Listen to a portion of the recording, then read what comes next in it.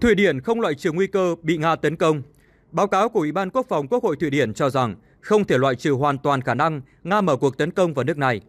Khả năng Nga thực hiện chiến dịch quân sự bằng lực lượng không quân, hải quân, khí tài tầm xa hoặc khí tài hạt nhân chống lại Thụy Điển hoàn toàn có thể xảy ra.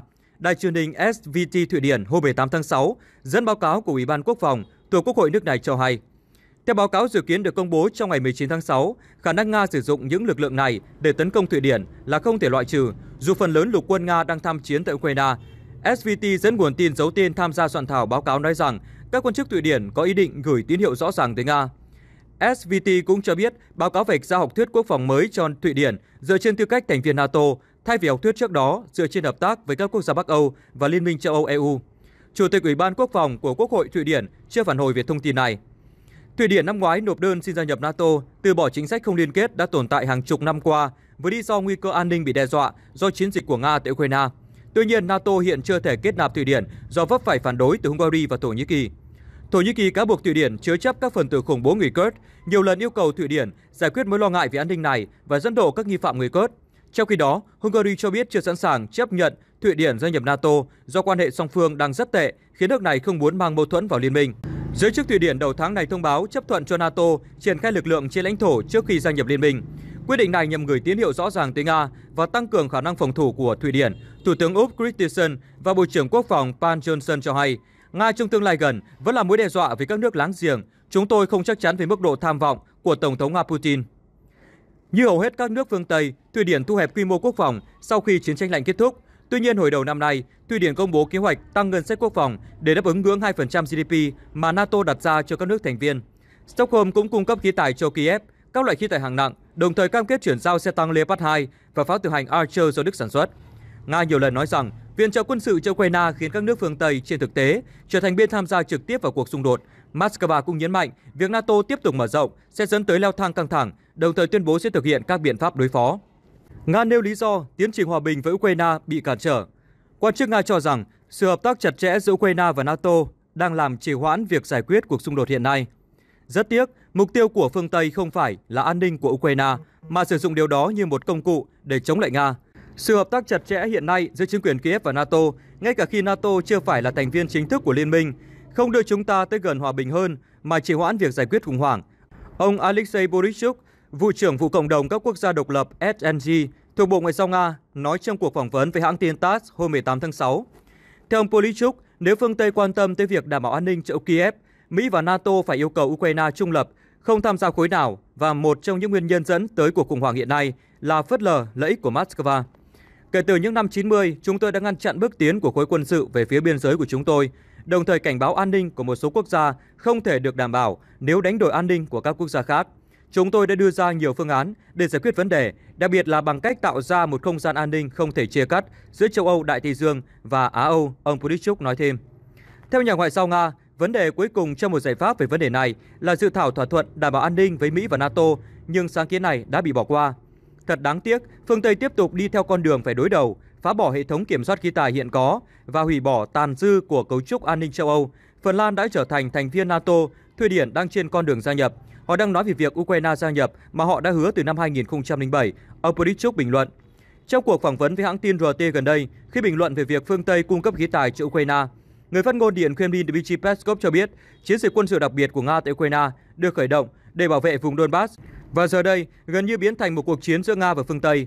Thực tế, chiến dịch quân sự đặc biệt tại Ukraine được phát động để đảm bảo an toàn cho người dân Donbass. Điều này là đúng, nhưng bây giờ chiến dịch này biến thành một cuộc chiến giữa Moscow và các nước phương Tây, người phát ngôn Điện Kremlin nói. Nhắc lại tuyên bố của Tổng thống Nga Putin về việc thiết lập khu phi quân sự trên lãnh thổ Ukraine nếu các cuộc pháo kích vào các khu vực của Nga không chấm dứt, ông Peskov nói rằng khi mức độ cung cấp khí tài của phương Tây cho Ukraine mở rộng, vùng phi quân sự cũng mở rộng tương ứng. Nga nhiều lần cảnh báo việc Mỹ và đồng minh tiếp tục cung cấp khí tài cho Ukraine chỉ khiến xung đột kéo dài và leo thang. Moscow cũng tuyên bố tất cả khí tài của phương Tây đưa vào Ukraine đều trở thành mục tiêu tấn công và phá hủy hợp pháp của quân đội Nga. ISW, Ukraine đẩy mạnh phản công, chia ít nhất 4 khu vực. Một đánh giá mới của Viện Nghiên cứu ISW cho rằng quân đội Ukraine đã thúc đẩy cuộc phản công trên ít nhất 4 khu vực.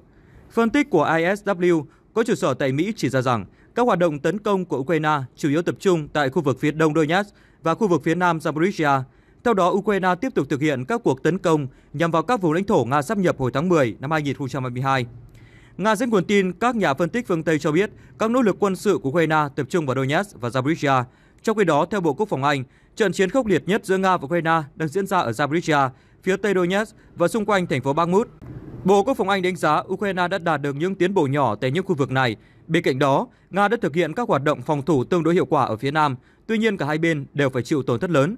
Tuần trước, Thứ trưởng Quốc phòng Ukraine Hanna Malia cho biết Nga đang di chuyển các đơn vị bổ sung từ các hướng khác tới hướng Bakhmut trong bối cảnh giao tranh tiếp tục diễn ra tại phía đông và phía nam Ukraine. Thực tế ở tất cả các khu vực và hướng của các đơn vị của chúng tôi tiến ở phía nam đều đạt được thành công về mặt chiến thuật. Lực lượng Ukraine đang tấn công theo nhiều hướng cùng một lúc, bà Malia cho hay. Trong tuần trước, quân đội Ukraine tuyên bố đã tiến được tổng cộng 6,5 km, diện tích lãnh thổ giành lại được là hơn 100 km vuông. Trong khi đó, phía Nga thông báo Ukraine đã thiệt hại nặng nề trong những ngày vừa qua. Tối ngày 18 tháng 6 theo giờ địa phương, Tổng thống Ukraine Volodymyr Zelensky thừa nhận cuộc chiến khốc liệt nhất đang diễn ra tại mặt trận miền Nam, trong khi giao tranh ở miền Đông vẫn tiếp diễn. Ông Zelensky cho biết, quân đội Ukraine tiếp tục tiến công từng vị trí từng bước và đang tiến về phía trước. Các chuyên gia quân sự đánh giá cuộc phản công của Ukraine đang ở giai đoạn đầu, với việc Ukraine đang thăm dò các tuyến phòng thủ của Nga. Sát thủ diệt tăng Nga lách qua lỗ hổng phòng không Ukraine. Nga đạt được lợi thế trong việc phòng thủ trước đà phản công của Ukraine và gây ra thiệt hại cho khí tài của Kiev, một phần nhờ vào dàn trực thăng tấn công uy lực. Báo cáo ngày 17 tháng 6 của Bộ Quốc phòng Anh nhận định Nga đã và đang tăng cường đáng kể năng lực tấn công bằng trực thăng kể từ khi Ukraine bắt đầu mở chiến dịch phản công. Theo đánh giá từ phía Anh, Nga đã có được lợi thế tạm thời ở mặt trận miền Nam trước đà phản công của đối phương, chủ yếu nhờ vào triển khai các trực thăng tấn công với tên lửa tầm xa. Điều này đã làm gia tăng hiệu quả tập kích của Nga đối với mục tiêu trên mặt đất. Báo cáo cho biết, các hình ảnh vệ tinh cho thấy Nga triển khai thêm hơn 20 máy bay trực thăng tại căn cứ Bediansk, cách tiền tuyến khoảng 100 km ở miền nam Ukraine. Nga có thể đã giành được lợi thế tạm thời ở miền nam Ukraine, đặc biệt là với các máy bay trực thăng tấn công sử dụng tên lửa tầm xa hơn và nhằm vào các mục tiêu mặt đất, chuyên gia Anh nhận định. Chuyên gia quân sự Anatoly Kravchinsky giải thích rằng, phần lớn các máy bay trực thăng triển khai tại Bryansk được sử dụng để hỗ trợ lực lượng mặt đất của Nga và tăng cường khả năng phòng thủ trước cuộc phản công của Ukraine. Ông nhấn mạnh rằng máy bay trực thăng Mi-8 có thể thực hiện nhiều nhiệm vụ khác nhau, bao gồm các hoạt động sơ tán và nhanh chóng triển khai binh lính hoặc thiết bị gần chiến trường. Trong khi đó, các trực thăng K-52 của Nga đang gây ra thiệt hại không nhỏ cho lực lượng tăng thiết giáp Ukraine. Các hình ảnh từ hiện trường cho thấy trực thăng sát thủ của Nga phóng tên lửa chính xác, phá hủy các đoàn xe quân sự của đối phương, gây ra thiệt hại nặng nề. Theo Eurasian Times, K-52 được mệnh danh là sát thủ diệt tăng hàng đầu của Nga, thể hiện khả năng hiệu quả trong việc vô hiệu hóa xe tăng đối phương trên chiến trường. Ngoài K-52, dàn trực thăng tấn công của Nga còn có Mi-24 Hin, Mi-28N và Mi-28N Mhairov. Sự gia tăng mạnh mẽ các trực thăng gần tiền tuyến cho thấy Nga đang tăng cường nỗ lực ngăn chặn cuộc phản công của Ukraine. Giới quan sát nhận định đây chính là thời điểm thích hợp để K-52 và dàn trực thăng tấn công của Nga tận dụng nhằm gây thiệt hại lớn cho đối thủ. Việc Ukraine thiếu các hệ thống phòng không tầm ngắn di động Shorat tại tiền tuyến đã và đang tạo ra lỗ hổng lớn cho lá chắn phòng thủ trước Nga. Nhờ lỗ hổng này, các trực thăng Nga có thể tận dụng các tác chiến tương đối an toàn gần chiến trường, giảm nguy cơ bị bắn hạ. Shorat có nhiệm vụ bảo vệ lực lượng và khí tài ở tiền tuyến trước các mối đe dọa từ trên không, ví dụ máy bay chiến đấu tầm thấp, trực thăng, UAV và tên lửa. Trực thăng Nga sẽ hoạt động ở rìa ngoài vùng an toàn để bắn tên lửa vào mục tiêu thiết giáp của Ukraine. Thiếu phòng không yểm trợ khiến các mục tiêu bọc thép của Ukraine trở nên dễ tổn thương.